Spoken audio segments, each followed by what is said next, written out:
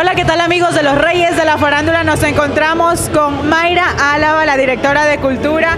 Cuéntenos cómo la está pasando en este día. Bueno, querida Ruth, felicitarle a usted por esta intervención en la Noche Cultural, muy emocionados de tener a nuestro presidente aquí en una Noche Cultural, aquí en Luz de América. Decirle a la ciudadanía que este es el gobierno de la Revolución Ciudadana, estos son los cambios que ahora se ven y un saludo muy especial para Reyes de la Farándula. Qué chévere, gracias por estar aquí. ¿Cuál es su mensaje para los jóvenes? Para los jóvenes que disfrutemos de la música nacional, que disfrutemos del deporte, que disfrutemos de cosas positivas, porque esos son los que nos engrandecen el alma y nos hacen mejores seres humanos en un futuro. Muchísimas gracias, un saludito para los Reyes de la Farándula. Gracias Ruth, con buena energía positiva y mucha vibra